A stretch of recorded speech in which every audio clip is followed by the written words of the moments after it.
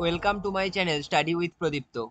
Today I will discuss week 9 assignment 9 answers of the course programming in Java. Please subscribe my channel and press the bell icon. I will upload all the assignment answers like I am doing for all the week and uh, with the programming assignment. Okay.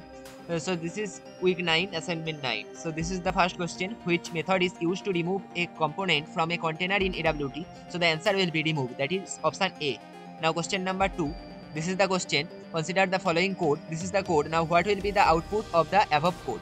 Okay so the answer will be option c. Now if you see now this is the code. I write the code here. If i run this then we will see that uh, this is the frame and uh, this is the button that is cancel button. Okay so the answer of this question will be only cancel button will be added and visible okay button is not added okay? And here is the proof that only cancel button is visible. Now question number three consider the following code. This is the code okay? What will be the output of the above code? Now if we run this code then we will get that uh, in the frame called example two button is there. One is button 1 and other is button 2 okay? So our answer will be a frame with two buttons labeled button 1 and button 2 that is option a. Now question number 4 consider the following code this is the code. Now insert the code here. What should replace this insert the code? To create a jframe with a j button labeled click me. Now the answer will be option a. That is frame.add now see what happens if we write frame.add button here in the uh, insert code. Now here uh, in the code if we write in the insert code here that frame dot add then button then what happens? Okay. So if we run this code then we will see that this is the demo frame and click me button is there. Okay? So our answer will be frame dot add button. Now question number 5 identify and correct the error in the following program. So this is the code and this line is the error. Panel dot set layout.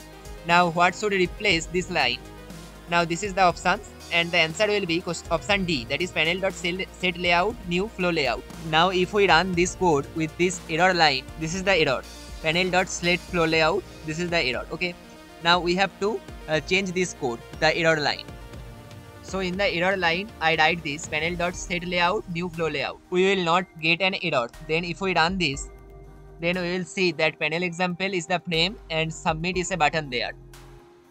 So our answer will be option D that is panel.set layout new flow layout. Now question number 6 consider the following code.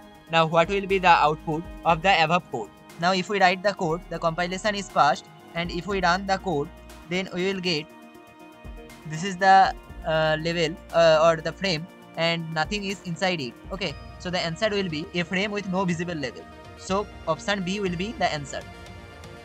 If you want to get the last 3 sessions assignment questions with answers of this course programming in Java which will help you in your final proctored exam then you have to mail me at this mail okay.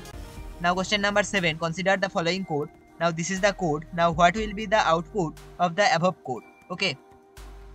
Now this is the code. Now if we run this code then we will see that this is the frame where programming is Java is a button. Okay. Now the answer will be creates a JFrame with a J button label programming in Java. That is option A. Now question number 8. Consider the following code. This is the code. Now what happens when the button in this Java code snippet is clicked? So the answer will be option B. That is a message dialog with the text welcome to the course is displayed. Now see. Now this is the code. Now if we compile the code then compilation is successful and if we run this code then this is the frame that is uh, NPTEL Java course. Now if we click uh, the button then it will show that welcome to the course message okay so the answer will be option B a message dialog with the text welcome to the course is displayed now question number 9 the container display a number of components in a row but adjust according to the window size which of the following layout managers most naturally suited for uh, layout given below? So the answer will be flow layout that is option A. Now the last question in Java what is the primary purpose of layout manager? These are the options and the answer will be option B that is to arrange GUI components within a container. Now please subscribe my channel if you get some help from this video.